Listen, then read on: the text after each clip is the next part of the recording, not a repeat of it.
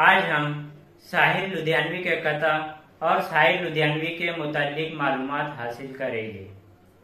साहिर लुधियानवी का असल नाम अब्दुल हई था। साहिर लुधियानवी की पैदाइश 8 मार्च 1921 को लुधियाना पंजाब में हुई। साहिर लुधियानवी ने फ़िल्मों में नगमा निगार की हैसियत से मकबूलियत हासिल की। साहिर तरक्की पसंद तहरीक से भी वाबस्ता रहे। तलखिया, परछाइया और गाता रहे बंजारा। साहिर लुधियानवी की गजलों और नज्मों की किताबें हैं। साहिर लुधियानवी की वफात 25 अक्टूबर 1980 को मुंबई में हुई।